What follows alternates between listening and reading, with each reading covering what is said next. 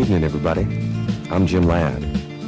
Tonight, it is my great pleasure to bring to national radio for the second time a band that is proving itself to be not only a group that can rock and roll with the vengeance and intensity of any power assembly, but is also a collective of musicians and writers who display a great deal of depth, sensitivity, and artistic integrity.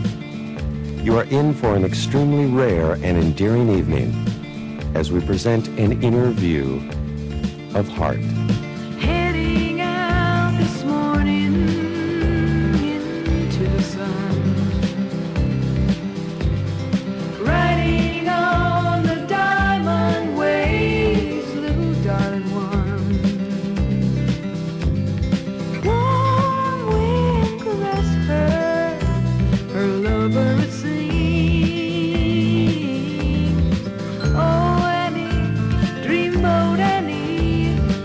Ship of dreams.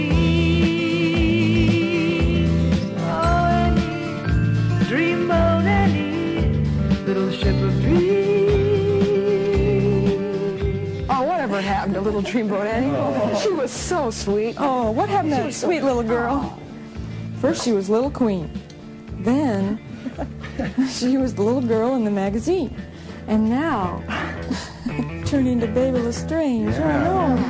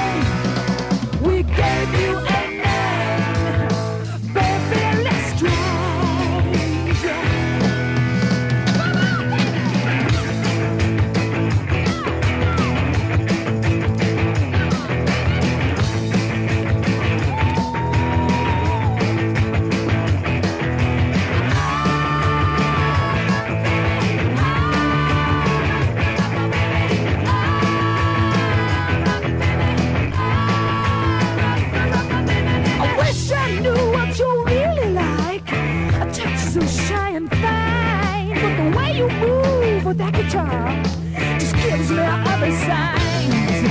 Hear my number, give me a sign. Call me back if this gets through.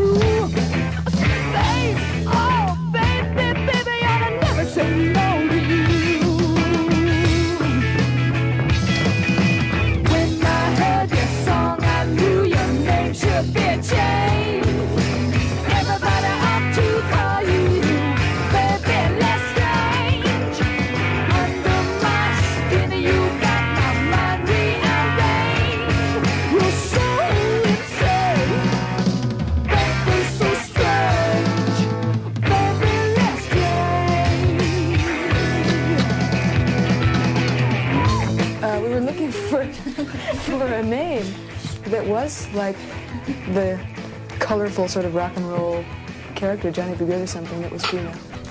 This whole women in rock thing is so new, and I'm already starting to get sort of tired of people going, yeah, man, wow, women in rock in the 80s, you know, because it's really starting to be this big thing everybody says, but it really is going well. And there are just so many women who are artists now, you know. Well, we got the inspiration for BeBe Le Strange from a fan letter, actually, because we get so many from these girls and women who have been inspired by Nancy and I, you know, to go out and learn how to play guitars and just Troy. And we got this one from these girls in the Midwest who have a power trio. And so we were thinking that it would be really great to try and concentrate all these things that we've heard and read and everything into a something that you could tell a story about. Like, you know, BeBe Le Strange could just as well be Elton John or Mick Jagger just like someone who's this real rock and roll sort of baby That's strange.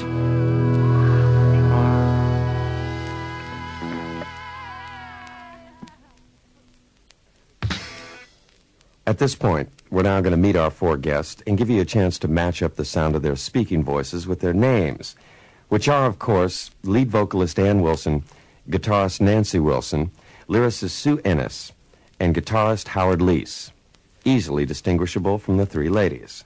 This is Howard Michael Leese, guitarist for Heart. My name is Ann Wilson, and I am in the rock group Heart. Thank you, Ann. Great.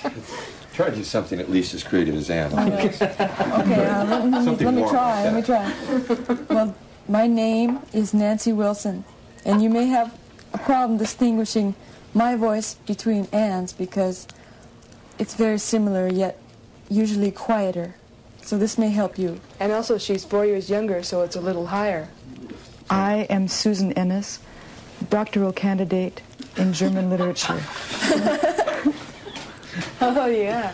Is it uh, Susan or Suzanne or Fraulein Ennis? Fräulein No, no more. It's just Susan, but you can call me Sue. You know. okay, but you can call me Fraulein. But you can, yeah, you can call me Frau. Okay, now Rockin' Heaven Down seems to be a song about the band.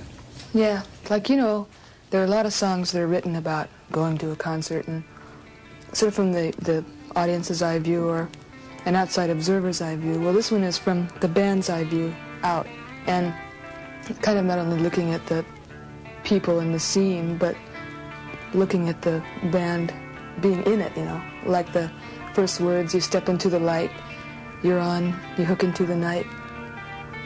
Uh, look from eye to eye, a flash gets passed around. Step into the light. You're on. You're hooking to the night. That look from eye to eye. A flash gets passed around. You're a band of wild angels rocking heaven down.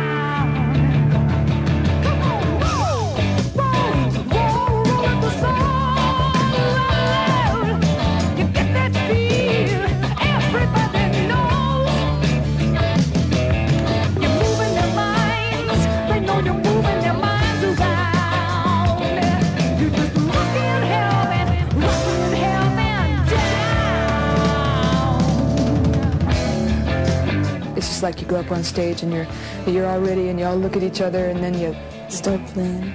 Every now and then, there's an extra special night, you know, where it becomes like rockin' heaven down. Step into the night on your way back home. What a scene it was tonight. I'm so glad I'm not alone, baby, baby. The look in your eyes just make me come unwound. Come on, baby,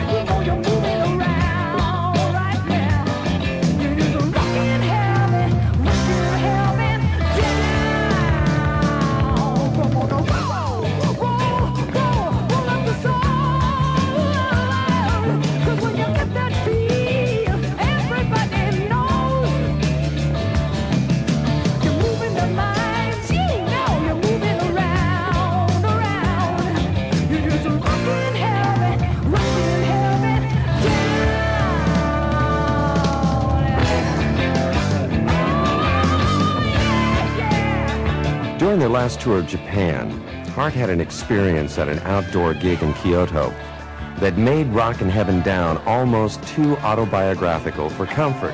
yeah, we had a near tragedy. Here, You hear about that? Well, it was an outdoor show in Kyoto, but it was a monsoon rain, and this stage with a canvas roof over the top with- Outdoors. that uh, supported all the trusses, you know, tons of lights and all the stuff.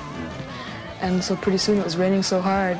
The people didn't mind because it was warm, and, and we were playing away in the rain, you know, it was really great. But all of a sudden the roof started to spring these leaks, and then pretty soon the leaks were big waterfalls. heavier and heavier. And then before we knew it, It was coming at it us. just caved in, you know. And God, we just With took electrical off, you know, we saw it and in time, and we just dropped everything and just ran and got out okay. Our drummer got banged on the head. His We timpani really- stopped the whole thing from going right through the stage. Yeah. Stopped on one of the keys that you tune a timpani with, between, lodged between the room and the key. Mm-hmm. So let's have a rock show. So that's Tight. St. Heart. I mean, Tight. we played when there was Legionnaire's disease. We went to Philadelphia. Got this week, this week there's a big prison riot, so we're, we're starting our tour in New Mexico. We're going to go right down there and see We're what's going going on. there soon.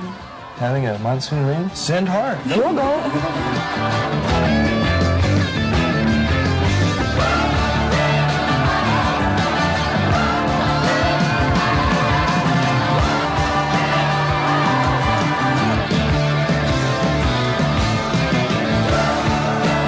Our interview of Heart with our guest, Ann and Nancy Wilson, Howard Leese, and lyricist Sue Ennis returns in just a moment. This here is grown in Oklahoma. Really? Organically, not even hmm. sprayed for flies, according to the guy that gave it to me. Oaky Green. Okie Green, we call it Oklahoma mm. crude. I'm Jim Ladd, and we're back now with our interview of Heart. We're going to begin this part of the show with a discussion of Heart's lyrics. Now, this is a part of the writing that Ann, Nancy, and Sue put a great deal of time and love into, but which is also the cause for a good bit of concern. Well, we're just trying to think of everything, you know, because when we write these songs, we not only think about how great it might be, but how people might misinterpret it. and, we, and we get kind of paranoid sometimes. You could spend your life at that, though. Yeah. But what if they think, oh, no, we can't say that? Right. Does that bother you if somebody were to write in and say something that, that you know that you had written, a line or something, a mm-hmm. song somebody had written or called, and that was really miffed at that? I mean, would you just say, hey, that's, that's your problem? No, that's that's happened a lot already. They say, "What does devil delight really mean? Mm-hmm. Does it mean that you worship the devil?" You know, is, you have Is heart go, into the occult no, as that's- is proven in the song Devil Delight?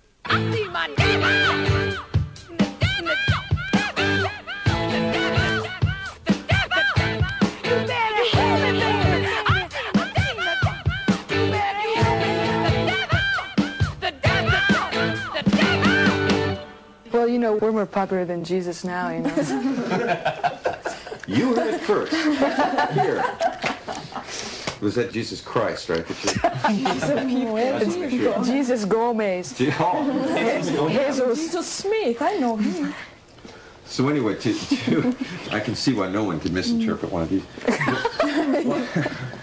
what do you tell yourself when that happens? I mean, I've met people who say, once you put it on the album, you have to let it go. You can't ever worry about how Yeah. someone interprets the art. I That's mean, really right. Well, that is right. However, it still bothers you. No, I don't think it really bothers me now. No, just in the songwriting. It bothers us during the songwriting because we're worrying about it. What might happen, you know. Oh, if somebody thinks of it like this. Well, we can't say that because people will think this, you know. So, Or use this word or that word because maybe there's some kind of low life double pornographic meaning for it that we don't even know, you know, being being naive girls. and that tends to happen.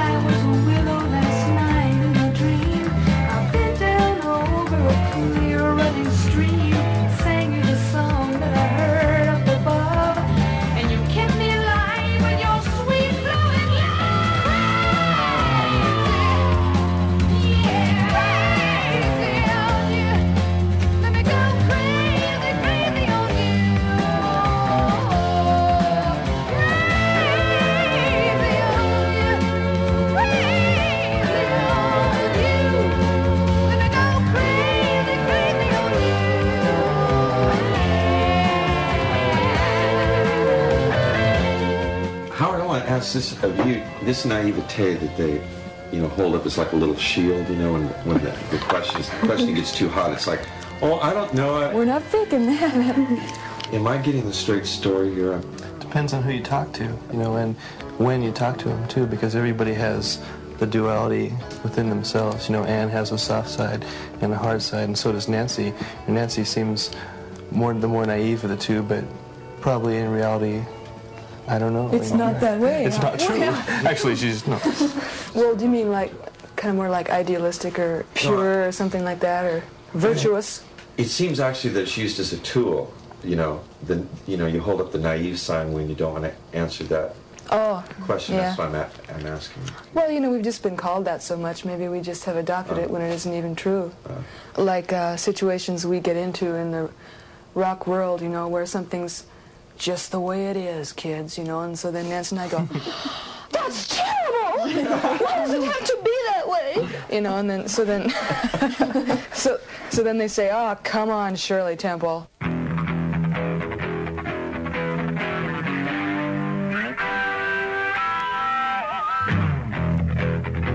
Don't you know? This is the way life is. That's true. And when we first started in the band, we were real naive. And uh, Oh, Nance yeah. was just out of college in Oregon and hadn't seen much of the world. And all of a sudden, there we were at the, the major cities dealing with major pressures. You know, and you, you grow up real fast.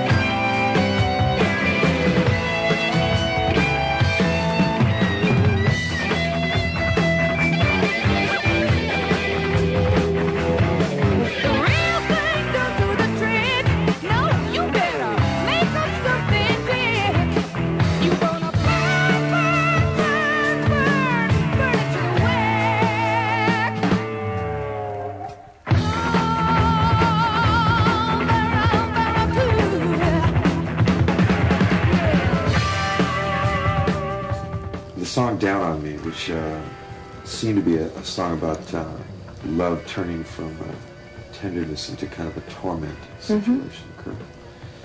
It's because I was tormented. Absolutely tormented, you know. Like we did the um, the vocal for that about a week after I broke up with Mike, my boyfriend of eight years, and I was really just shredded inside. And it was the big Novocaine, you know, the gradual numbing from real great pleasure into just nothing, you know, and being tormented and wanting out. And that song really was, really was trying to talk about that. Like the words, uh, used to want to know my mind, but now I even hate to bring that up because you get so down on me, you know. It really was a hard thing for me to sing. It was real hard for us to mix it too because both of us were real, real torn up over our respective failed loves. And, and uh, the day we mixed it, they had to hand the Kleenex around and stuff, keep the salt off the mixer. That song is real blues.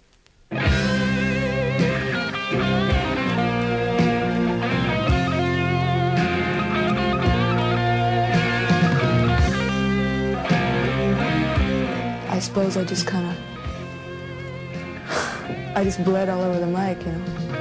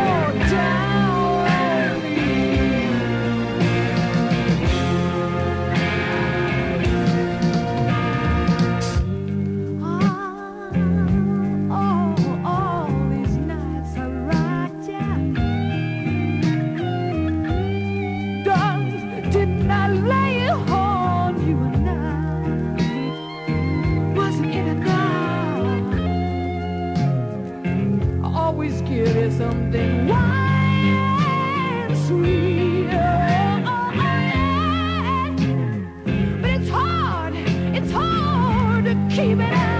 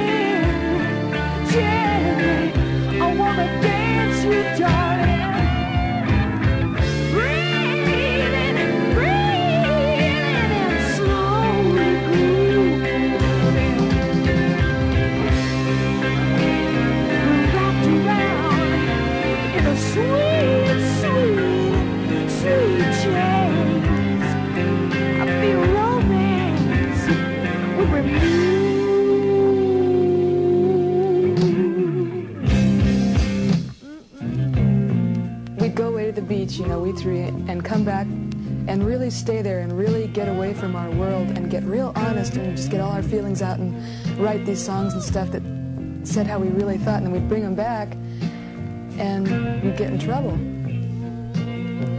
Kind of. Like with Down on Me when I played it for Mike and stuff. Um, you can imagine. You know, you know, I can't resist. I got a need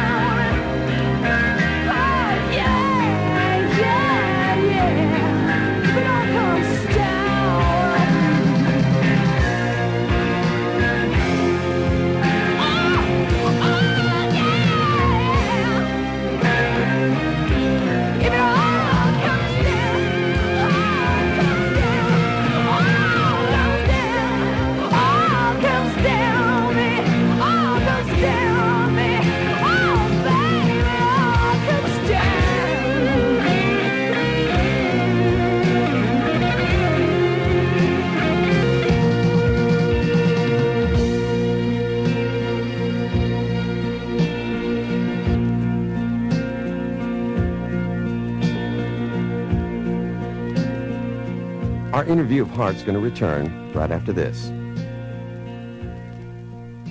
Okay, we're back again as our interview of Heart continues. Did you do the acoustic guitar Silver Wheels? Yeah? Very good job, must Oh, say. thanks.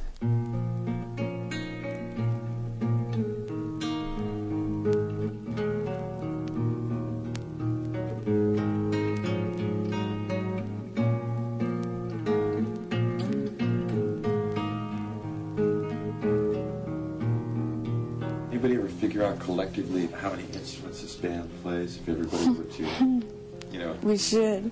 how many can you play by yourself? Uh, see, I've never counted. Oh, Should go I- ahead. should- Run them out for us, won't you? The, the, uh, the spoons, the toothpicks, the knives, the forks, the dining room table. I love that instrument. Have you ever played harmonica? Yeah, yeah. Harmonica too? Yeah, she Well, you know, really uh, well. Cook with Fire, Cook with Fire, yeah. And uh, the, the Mother Earth Blues on the Fluke album. When Nancy was in high school, she used to, she was a real blues, A blues sort baby. We got in trouble for playing guitars in the girls' bathroom. How shocking. Disgusting. Worse You than ashamed of yourself afterwards, Ms. Wilson? Oh, I never played again. She whipped herself with hooks. That's right, I had a ticket. Disallow her. So anyway, guitar and piano and you know, we're all trying to learn new instruments all the time. Like Ann's trying to learn drums and so am I and I've got a Celtic harp at home, it's really great. And just whatever's there to play is was fun to try to play it. After you, after you learn to play music as well as you know how to do, transferring to another instrument is basically mechanics. That's Yeah. it. Once you once you've learned the theory behind the music, let's say you learn just one instrument, and all you have to do is learn how to apply that to any other instrument technically. Just figure out how to how to technically make the instrument work, but you already know the scales and the chords and all the musical stuff. And so once you learn go. a couple instruments, it's it's really a fun challenge to pick up a totally strange instrument and try to figure out how to get some music out of it. Each Oh, instrument suggests different music too, just by the way the instrument is set up. You'll you'll write different songs, let's say on the guitar than you would on the piano, just because the way the instrument itself is set up just suggests different things. Like the open tunings of the guitars tend to make people write in those keys.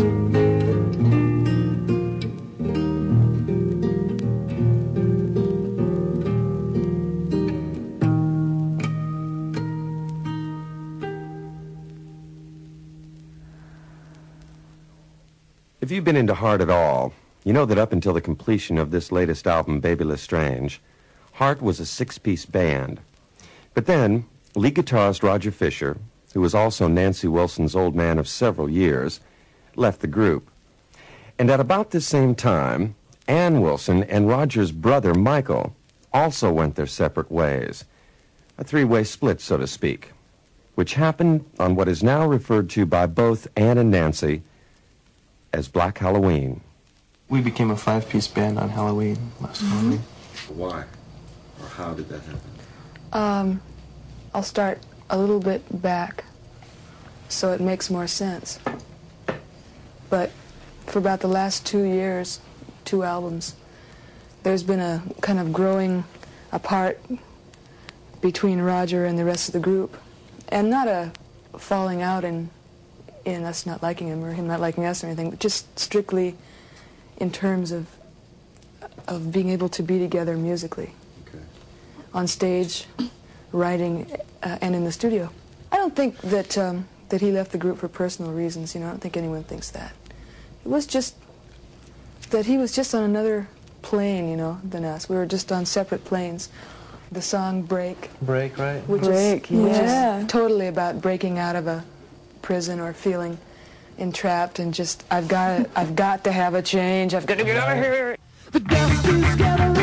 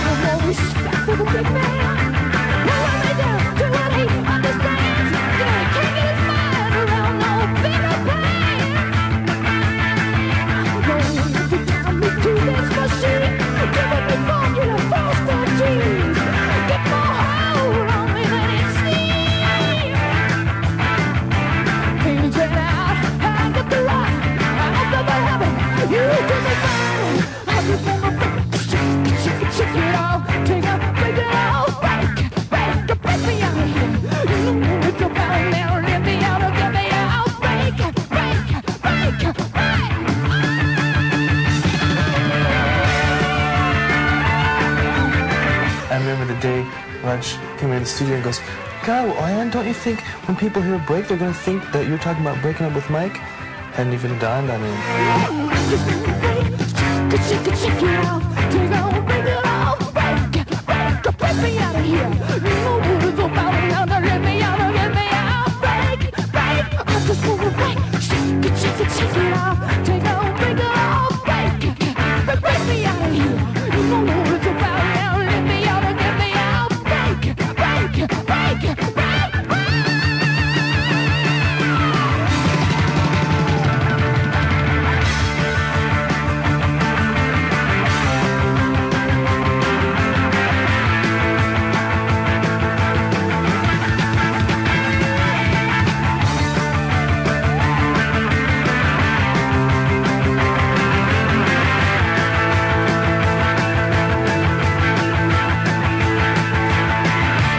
Like it wasn't written about breaking up. no, written- it was written about music, actually. Yeah, yeah, it? it was written about this person who was ready to go, you know, to change. Break out. Yeah. And out of a mold.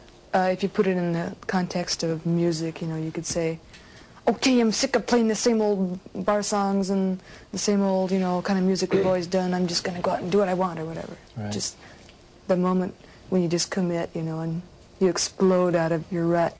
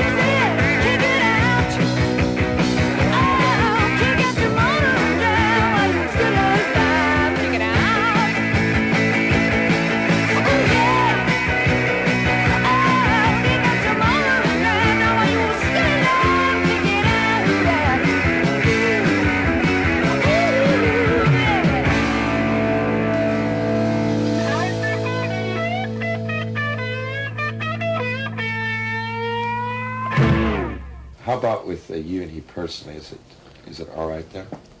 I've only seen him a few times, and all those times it's been real, real easy, real friendly, and real. Um, you know, everything's understood. He understands why we did it, and we tried to do it in the most kind and loving way we could. You know, but we really had to choose between continuing with this hard, hard situation and trying to spare him and baby him along and and make him do things he didn't feel or just doing it clean. And um, so I think it's it's good, you know. He's really a lot happier now because he doesn't have these two big nurses telling him what he can and can't do, you know. The conclusion of our inner view of Heart in just a moment. And now the conclusion of our inner view of Heart. I think that this would have to be maybe my favorite song as Pilot. Really? Really? Really? Good. Really, really? I've been waiting for the person who would say that. I have too. Yeah. Oh, you just made yourself real popular. Someone likes Pilot. Well, like I really, really like that song too, but like, like, uh, and Sue does too, and Nancy does too, and our mother does too. That's her favorite song. But it seems like a lot of times the actual musicians who make the album have real strange favorites that aren't the obvious Right. ones that most people like.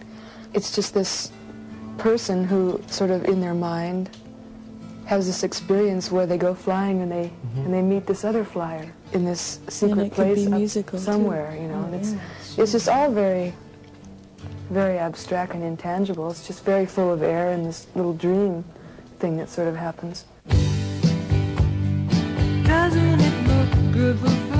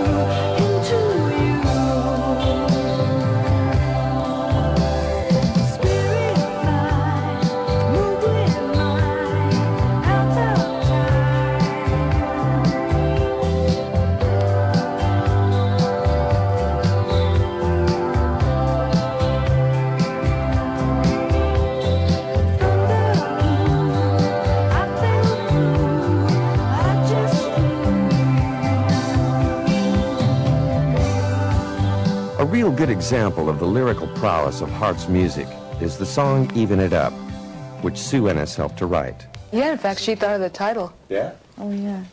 I hate to say it to your face, but I think this is a great song. Oh, I really Oh, like God, you scared me. Oh, really? I need to sing it. Oh, was gonna go. bites. I hate to say it to your face, but I don't see how you could have put out such a piece of. it. You put your name on this piece of song. It is the worst piece of insulting trash I've ever heard. I call that kitsch rock. That, that is kitsch, man. Well, you see, it was a collaboration. It really was. I mean, it's just that I was sort of expounding one day to my friends about an experience that I had, and and they said that they'd had it too, and so we thought, yeah, we could write a song about that. And how would you sort of say what you felt like, you know, um, in this position where you really, someone sort of came to you and showed an interest, and then you were interested too, so you followed it up, and then it just wasn't quite right, you know. It just was all this way, and nothing was really coming One back. way, and uh, yeah. and then it says, well, even it up, you know. Let's let's just play fair and square and uh, have something happen where it's it's two, way, you know. But you see, that's the serious side of it. That's the lyrics. That's the the feeling. But I mean, the music is really great. And so coupled together, what is that? I mean, great in the way that the music really moves, and it it just makes me tap my foot.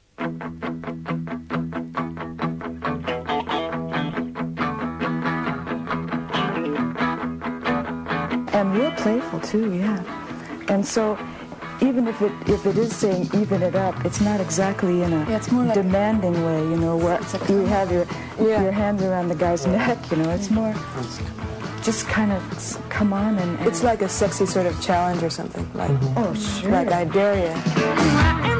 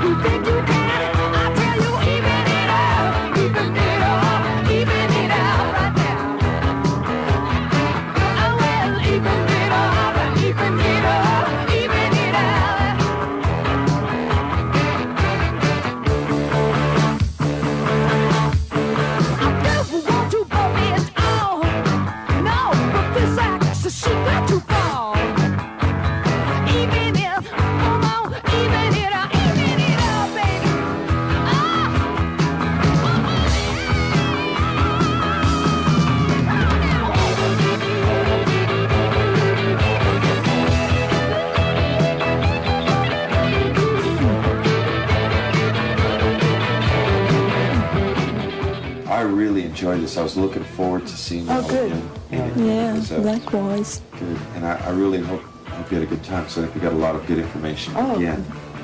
We definitely did. I only wish the rest of the stuff we were going to have to do over this week would be as This easy fun. and fun, you know. Seems like Yeah. it started with a peak.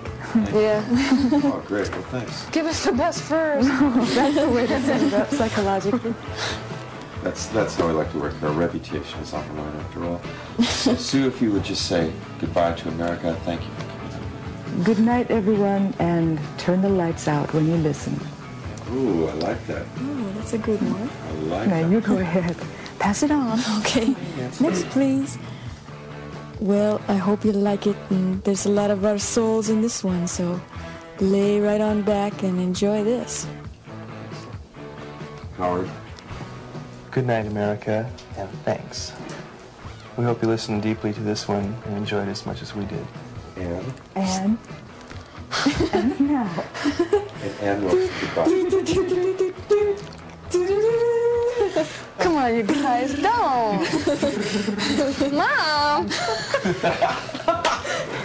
Glad they don't put you on the spot. That's, that's make it as comfortable for Ann as possible.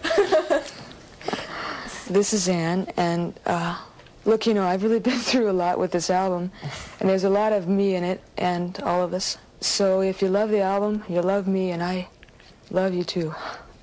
So, good night, and uh, turn it up.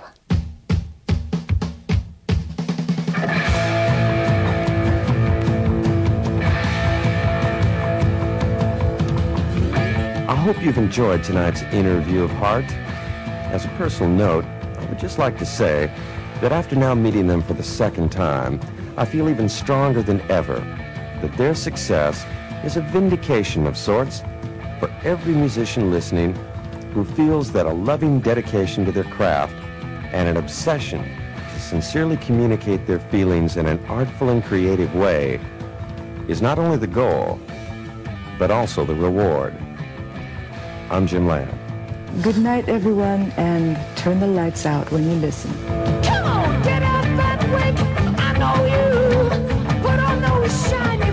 Shoes.